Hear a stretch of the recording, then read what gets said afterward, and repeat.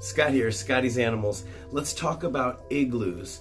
Uh, these plastic igloos, they come in uh, different shapes and sizes, but specifically I want to talk about these plastic ones. Big, small, the ones that have one entrance and no holes except for these little tiny holes here.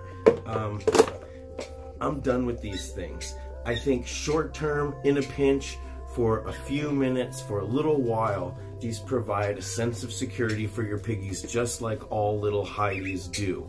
But I don't like them anymore because piggies tend to sit in there for a long period of time and the air gets stale and they poop and pee in there and it just builds up into this funk.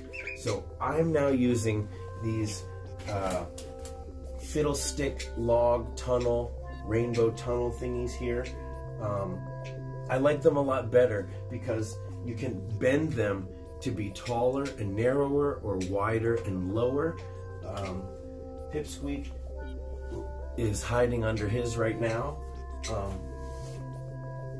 Because um, the thing is, they're gonna poop and pee in their hidey. People sometimes will ask me, well, what about um, potty training your piggies? Well, you wanna potty train your piggies, put a food bowl and put a pile of hay and uh, a hidey of some kind in one corner, and that's where most of their pooping and peeing is going to happen. And also, if you put the water bottle nearby there, then the dripping, if there is any, it's all the wetness is going to be in one side.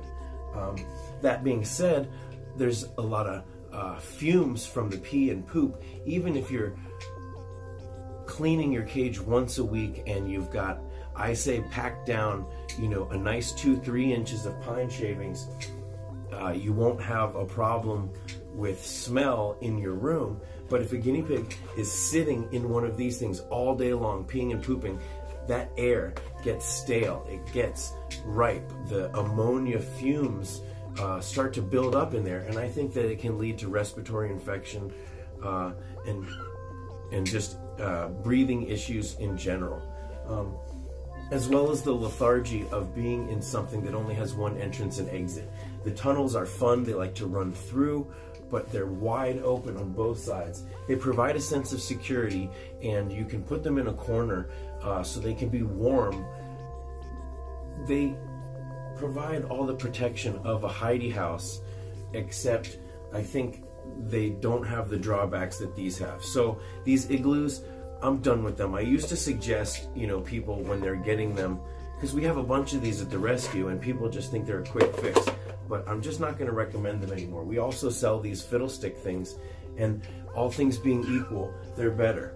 Um, I used to say cut a hole in the top. I like using Amazon boxes sometimes.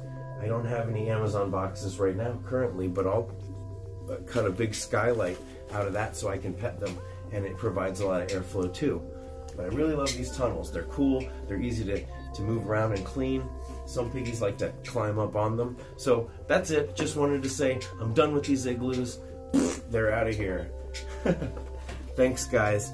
Um, don't forget to hit that subscribe button if you're new because I've got a lot of facts. I've been getting uh, and advice. I've been getting a lot of messages lately from people who uh, these questions that they've been asking me um, could be answered in a video just by searching my channel or searching directly in YouTube search, adding Scotty's Animals and then say ringworm or respiratory infection or whatever the question bonding might be. Uh, try that. If you ask a question in comments, um, maybe someone else will be able to get to it before I can. So use the community as a resource. Guinea Lynx is a great one, uh, as well as all the other channels that I always mention.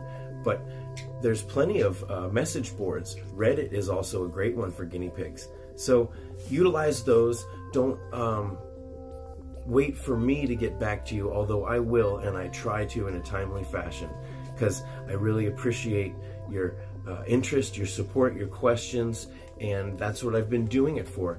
I'm here to help you guys, educate you guys. That's why I volunteer at the LA Guinea Pig Rescue. So check uh, Saskia's channel and check uh, all of our different social media. There's great places to ask questions. So thanks for watching, guys. Talk to you. Uh, see you next time.